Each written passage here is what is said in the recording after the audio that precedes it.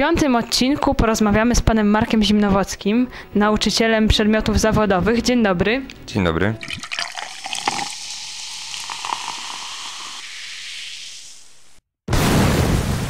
No to zacznijmy od pierwszego pytania. Dlaczego wybrał pan akurat ten przedmiot nauczania?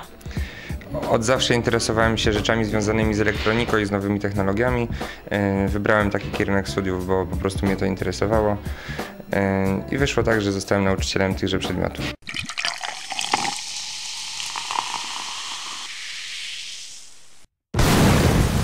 A czy praca nauczyciela daje panu radość? Zdecydowanie uczniowie, e, zawsze znajdą się w klasie uczniowie, którzy są chętni do pracy jakichś dodatkowych. Robimy bardzo dużo dodatkowych rzeczy i to daje dużo satysfakcji.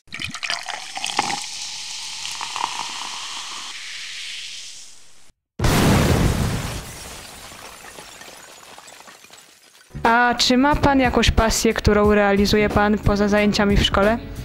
E, Tak, oprócz pracy w szkole e, pracuję jeszcze w firmie, w której konstruujemy maszyny CNC i tym zajmuję się po godzinach. E, Dodatkowo interesuję się sportem, zimą narty, latem bieganie rower.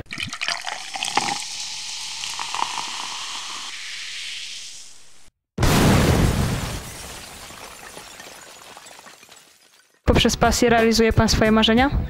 Myślę, że tak, że robię to, co, co lubię i sprawia mi to dużo przyjemności.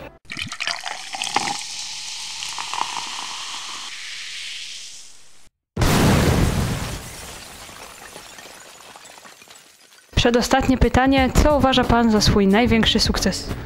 Jeśli chodzi o największy sukces taki zawodowy do tej pory z uczniami, to jest wygranie konkursu mazowieckiego na innowację techniczną, a jeśli chodzi o osobiste sukcesy, to myślę, że wiele sukcesów jeszcze przede mną.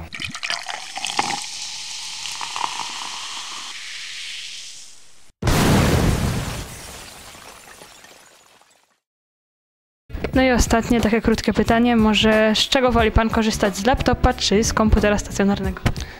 Yy, Korzystam z laptopa, zdecydowanie to jest ułatwienie duże. No i dobra, dziękuję.